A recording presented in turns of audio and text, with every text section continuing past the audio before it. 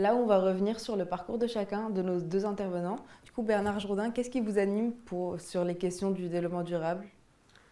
En 2009, le directeur d'hôpital souhaitait engager l'établissement dans une démarche de développement durable. Donc j'étais déjà dans l'établissement, je m'occupais de travaux. Donc il m'a euh, questionné sur une démarche qu'on pouvait construire au sein de l'établissement. Donc on a co-construit avec lui la démarche et depuis 2009, j'ai la chance d'avoir un directeur qui est très mobilisé sur ces questions-là. Et donc on construit avec lui tous les jours la, politique de l'établissement. Donc euh, voilà. En même temps, il y avait un vent en 2010 qui poussait les collectivités à aller sur cette thématique-là. Et donc j'ai conseillé au directeur qu'on puisse, à l'instar des collectivités, pouvoir engager l'établissement dans une démarche de développement durable.